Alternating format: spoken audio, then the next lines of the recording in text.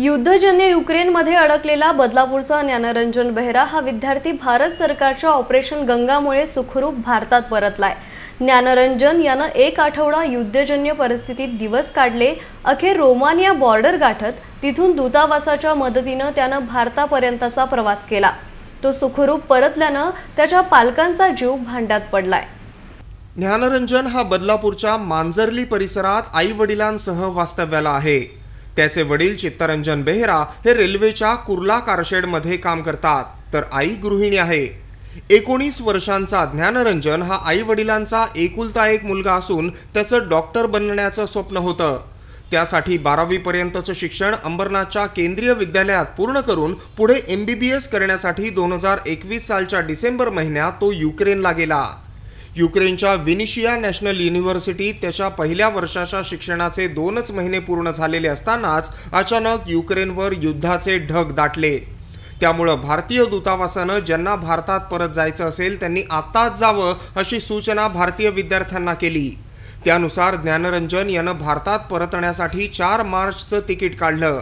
मात्र त्याच्या आठवडाभर आधीच म्हणजे सव्वीस फेब्रुवारीपासून रशियानं युक्रेनवर हल्ला सुरू केला ज्यामुळं क्यू शहरातला एअरपोर्ट सुद्धा बंद झाला आणि ज्ञानरंजन हा विनिशिया शहरातच अडकून पडला. या काळात प्रत्यक्ष विनिशिया शहरावर रशियानं हल्ला केला नसला तरी आमच्या शहरापासून पन्नास ते साठ किलोमीटर अंतरावर असलेल्या काही रासायनिक कारखान्यांवर रशियाकडून एअर स्ट्राईक करण्यात आल्याचं ज्ञानरंजन यानं सांगितलं. त्यामुळं विनिशिया शहरात अलर्ट जारी करण्यात आला. धोक्याची सूचना देण्यासाठी सायरन वाजवला जायचा. त्यानंतर आम्हाला हॉस्टेलच्या जवळच असलेल्या बंकरमध्ये नेलं जायचं असं ज्ञानरंजन सांगतो.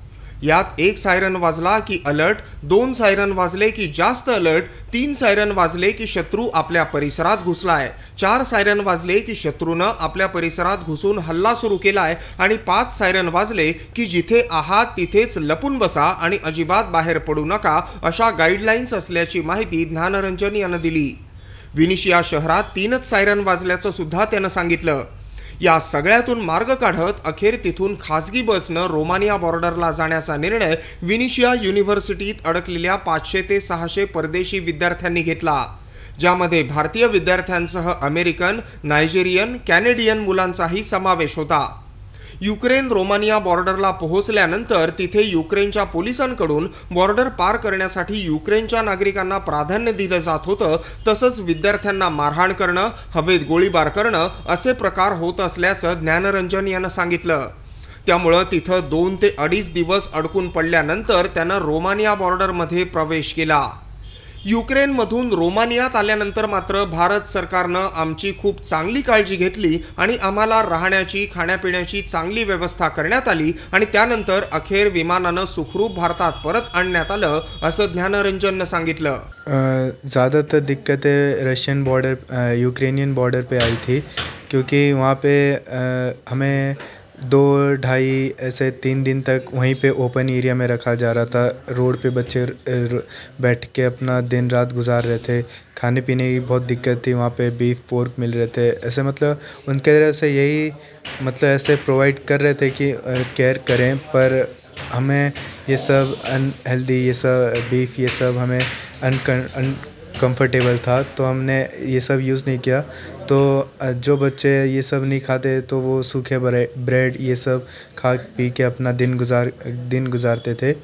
तो वहाँ पे सबसे ज़्यादा दिक्कत है, तब आई जब हमें at a time the ten students को छोड़ते थे रशिया यूक्रेनियन बॉर्डर से और पार्शलिटी किया गया हमारे साथ और जो यूक्रेनियन थे, उन्हें at a time fifty to sixty छोड़ते थे। यूक्रेनियन बॉर्डर से ताकि वो रोमानिया बॉर्डर तक जा सके।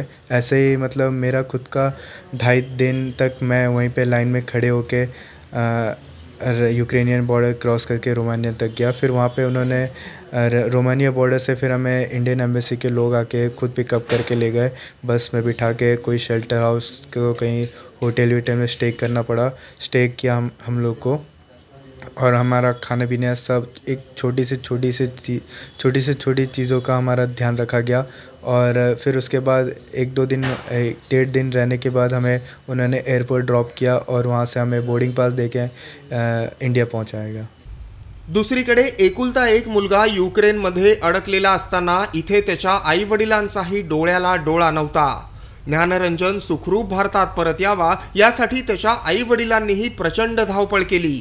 हे कुटुंब मूळचं ओडिसाचं असल्यानं त्यांनी ओडिसाला जाऊन तिथल्या सरकारकडून सुद्धा मदत मिळवण्याचा प्रयत्न केला. अखेर भारत सरकारच्या ऑपरेशन गंगानं त्यांच्या मुलाला सुखरूप परत आणलं.